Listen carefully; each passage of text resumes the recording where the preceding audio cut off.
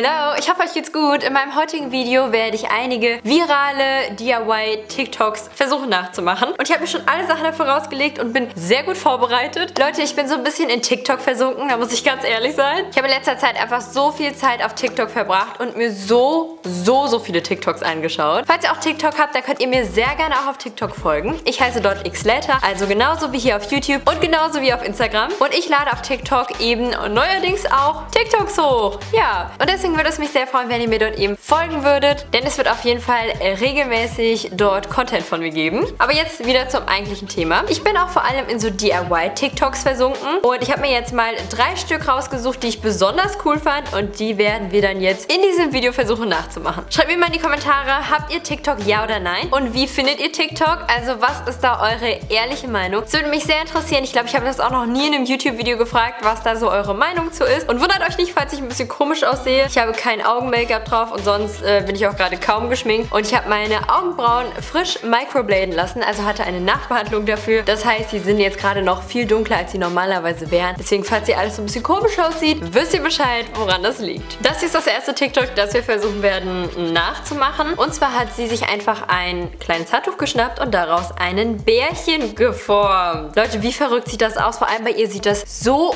unglaublich einfach aus. Ihr seht ja auch von allen Künstlern den TikTok-Namen. Ich finde, alle machen großartige Arbeit und machen sehr inspirierende DIYs. Und das hier versuche ich eben nachzumachen, weil es eben ein DIY ist, was viral gegangen ist. Und bin sehr gespannt, ob ich das hinbekomme, weil ich bin relativ untalentiert, was das angeht. Hier habe ich mir ein Handtuch geschnappt. Das sieht relativ ähnlich aus zu dem, was sie hat. Einfach ein dünnes. Es hat auch ungefähr eine gleiche Größe. Ich habe hier auch ein paar Haargummis vorbereitet. Ich habe jetzt nicht diese Schleife, die sie am Ende dem Bärchen ähm, dran gemacht hat, aber ich denke, es geht ja sowieso nur ums Prinzip. Okay, wir starten dann jetzt. Das erste, was sie macht, ist das Handtuch zu rollen und zwar nach innen von beiden Seiten und sie rollt es relativ eng. Okay, da, da scheitere ich schon mal ein bisschen. Hä, hey, was sieht aber alles so leicht aus?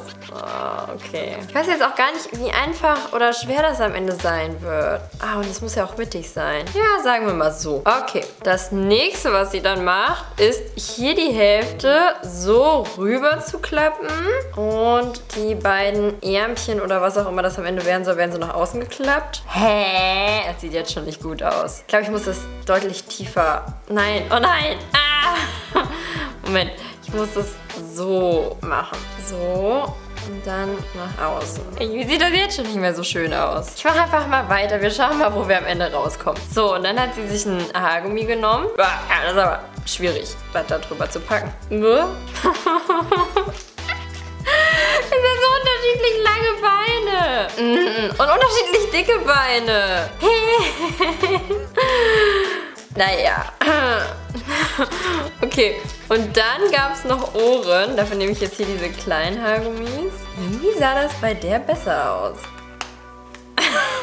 ich mache doch faktisch alles richtig, oder nicht? Ich verstehe das nicht. Wow. Hä? Warte, vielleicht sind die hier auch einfach gar nicht so stabil und es geht mit denen hier besser. Vielleicht ist mein Handtuch auch zu dick. Wie zur Hölle hat die das hinbekommen? Leute, jetzt mal ernsthaft. Mhm.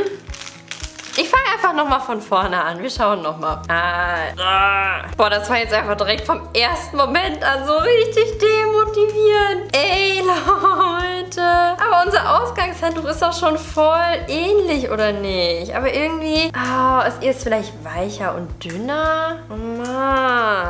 Ich will das unbedingt hinbekommen. Moment, ich drehe nochmal hier so. Also die beiden sehen sich doch schon mal grob ähnlich. Und jetzt klappe ich das hier so ein und dann hier so aus und hätte dann schon mal den Body mit den Beinen. Sieht doch schon mal ein kleines bisschen besser aus als beim ersten Mal. Dann kommt jetzt das Haargummi, was den Hals abtrennt. Nicht falsch verstehen. Und es wird einfach direkt schon hässlich. Das, das, ey, meine Haargummis sind schon total eng. Wieso geht das nicht? Nochmal bekomme ich das gar nicht rum. Oh Mann. Leute, die Motivation ist echt da gerade. Ah, okay. Und dann die Öhrchen. So schlecht. Okay, also.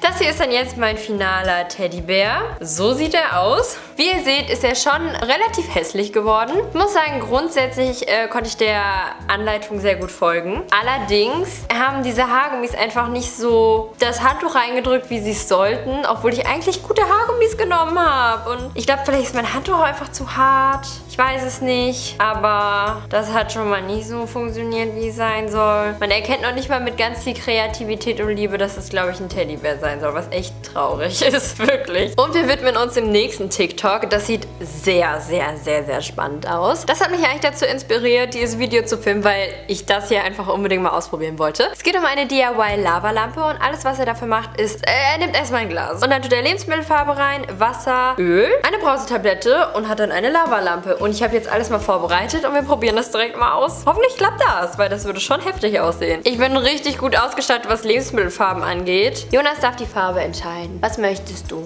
Eine Lavalampe. Ja. Ich glaube, blau sieht schon cool aus. Blau. Ja. Ich hätte auf grün getippt. Gut, dann machen wir blau. Okay, los geht's. Jonas hat blau gesagt, deswegen... Oh, die blau ist fast leer. Haben wir ja nicht viel. Oh, da kam doch einiges raus. Habt ihr dieses Furzgeräusch am Ende gehört? Das war nicht ich. Ich schwöre. So, und dann... Oh, habe ich nur einen großen Löffel. Passt er hier rein? Ja. Dann rühre ich mal ganz kurz um.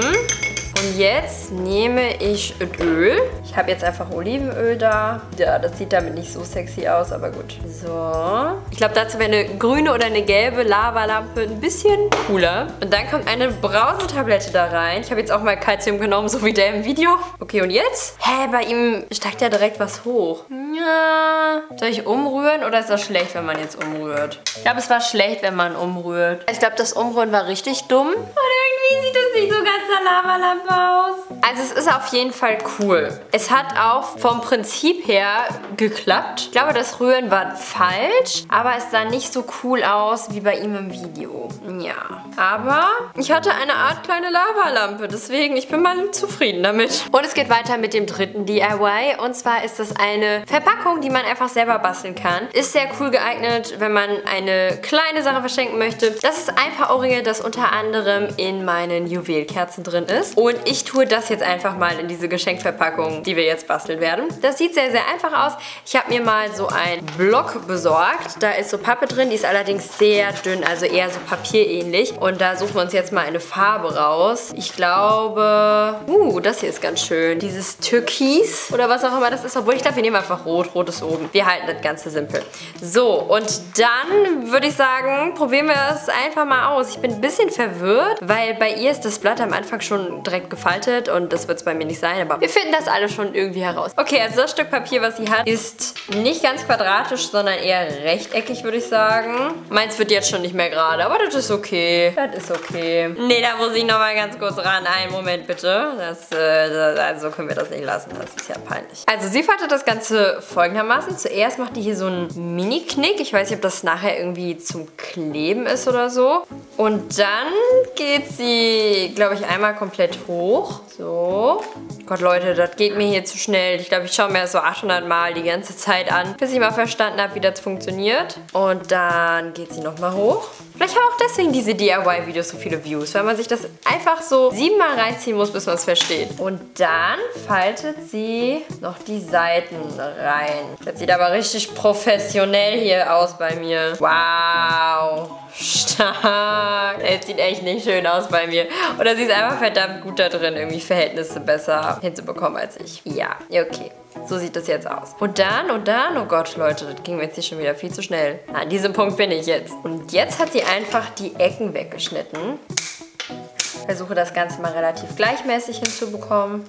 Und dann hat sie es wieder ausgeklappt und einfach zusammengefaltet. So. Ich klebe das Ganze jetzt einfach mit Tesafilm, damit es auch wirklich hält. Ich glaube, es ist ähm, intelligent, wenn man einfach wirklich diesen Klebestreifen so nutzt, wie er vorgesehen war und da einfach Kleber dran macht und das dann so daran fixiert. Allerdings, Leute, ich, hier ist schon so viel schief gelaufen. Ich will einfach nur, dass das hält. Deswegen gehe ich jetzt den radikalen Weg mit einem Klebestreifen. Eine Sache muss ich aber auch direkt dazu sagen, es ist echt ein bisschen anstrengend, vor der Kamera ein DIY zu filmen, glaube ich. Weil sie muss dann ja sich total darauf konzentrieren, alles schön gerade und so zu kleben. Gleichzeitig muss ich aber auch noch darauf schauen, dass irgendwie das Bild süß aussieht und alles auch im Bild ist, alles auch scharf ist und so. Und ich glaube, das kann schon ein bisschen anstrengend sein. Und jetzt nehme ich mir Schnur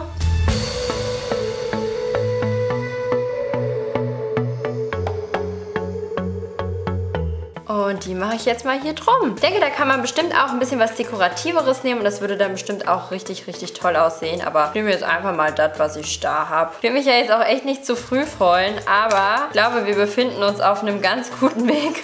Sieht alles doch voll okay aus. So, jetzt nehme ich mal das Geschenk, was ich jetzt fiktiv verschenke, und zwar die Ohrringe. Kommen jetzt auch hier rein. So, hier auf der anderen Seite genau das gleiche Spiel. Übrigens, wundert euch nicht über meine Fingernägel. Ich habe morgen einen Termin im Nagelstudio. Studio. Ich werde definitiv die Situation wieder unter Kontrolle bekommen. Ja, die sehen halt nur gerade ein bisschen, bisschen fettig aus, ne? Wow, ich wusste nicht, dass ich so schlecht im Basteln bin. So, fertig. Bisschen eingedellt von der Seite. Also so sieht es jetzt aus. Grundsätzlich hat es auf jeden Fall funktioniert. Ich konnte hier auch wieder der Anleitung folgen. Das war bei wirklich allen drei TikToks überhaupt gar kein Problem. Deswegen finde ich sie auch wirklich cool und praktisch, weil Leute, man kann so ein DIY entweder in drei Minuten erklären oder in 15 Sekunden. Und ich finde, alle haben das sehr, sehr gut hinbekommen. Eben kurz zu fassen, ich war nie an der Punkt, dass ich mich gefragt habe, und wie zur Hölle geht es jetzt weiter? Sondern bei mir ist es eher daran gescheitert, dass einfach Sachen, die ich exakt so nachgemacht habe, bei mir nicht so funktioniert haben. Ich glaube, Paradebeispiel der Bär. Also hätten diese Haargummis diese nötige Spannung oder wäre das Handtuch eben nochmal viel dehnbarer, weicher oder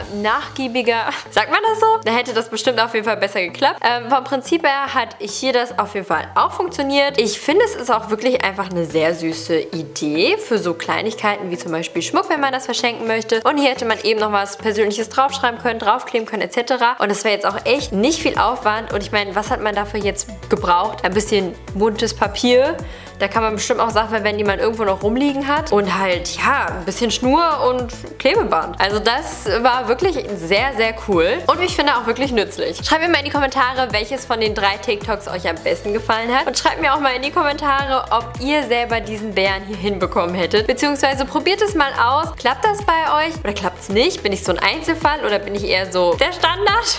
Keine Ahnung, Leute. Ansonsten, falls ihr meinen Kanal noch nicht abonniert habt, könnt ihr sehr gerne auf den roten Abonnieren-Button klicken und folgt mir natürlich auch sehr, sehr, sehr, sehr gerne auf TikTok. Ihr findet mich dort auch unter dem Namen xlater, genauso wie hier auf YouTube und auch auf Instagram. Und ansonsten könnt ihr auch hier oben auf das i klicken für weitere Videos von mir oder ihr könnt euch eins von diesen beiden Videos hier anschauen. Hier sind meine Social-Media-Seiten, hier könnt ihr mich abonnieren. Und ich wünsche euch dann einen wunderschönen Tag und bis zu meinem nächsten Video. Tschüss!